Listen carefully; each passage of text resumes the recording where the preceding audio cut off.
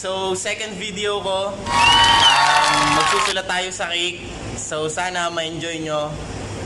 Kahit hindi ganun kaganda ng sulat ko, um, tatry ko yung best ko. So, tara!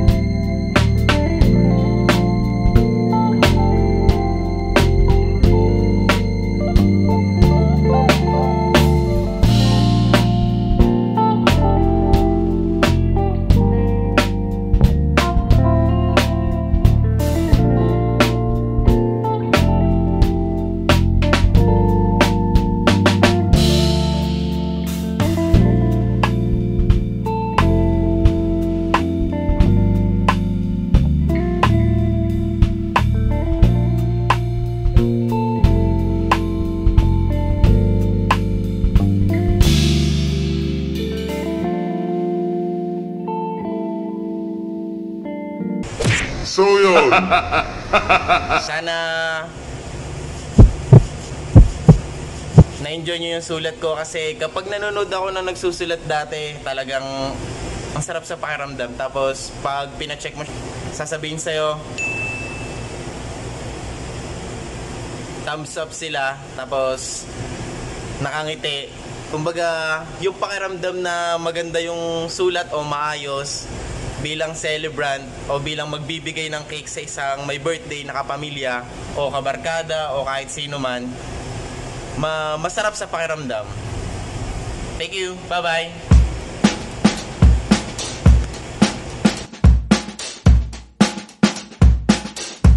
Shoutout naman tayo.